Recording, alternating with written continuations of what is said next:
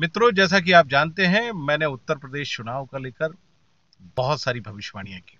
और उत्तर प्रदेश में, जैसा कि आप जानते हैं, मेरी जो सबसे प्रमुख भविष्यवाणी थी कि भारतीय जनता पार्टी उत्तर प्रदेश में 200 सीटों के साथ सत्ता पर काबिज होने जा रही है। अब मित्रों, मैं अपनी एक नई भविष्यवाणी को आपके सम्मुख प्रस्तुत कर रहा हूँ। मेरी ये नवीन भविष्यवाणी है उत्तर प्रदेश में सीएम पद को लेकर।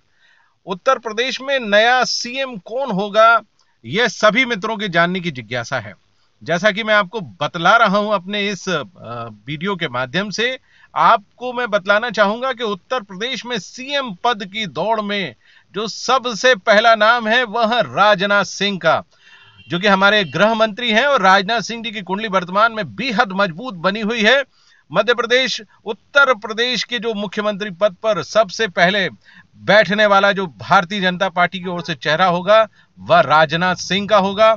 और मित्रों, यदि राजनाथ सिंह बनने से इनकार करते हैं तो दो और प्रमुख दावेदार हैं, जो मेरा मानना है कि उत्तर प्रदेश में भविष्य में सीएम पद की सत्ता पर बैठ सकते हैं, आने वाले 11 मार्च के बाद।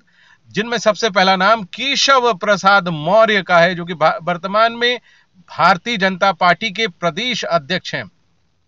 मित्रों केशव प्रसाद मौर्य की कुंडली बहुत शानदार है और यदि केशव प्रसाद मौर्य उत्तर प्रदेश के सीएम नहीं बन पाते हैं तो एक और चेहरा जिसके बारे में कहीं कोई चर्चा नहीं हो रही है, वह नाम है लक्ष्मीकांत वाजपेयी का। और लक्ष्मीकांत वाजपेयी भी उत्तर प्रदेश में सीएम पद की दौड़ में सबसे आगे रहेंगे।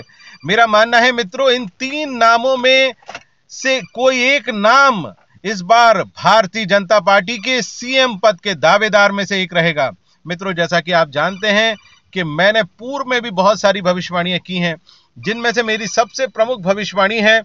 मित्रों, के उत्तराखंड और गोवा में भारतीय जनता पार्टी पूर्ण बहुमत के साथ सरकार में आने वाली है और उसके अलावा मणिपुर में भी वह सबसे आगे रहेगी। तो मित्रों, मेरा यह मानना है कि भारतीय जनता पार्टी इस चुनाव में बहुत बढ़िया प्रदर्शन करने जा रही है।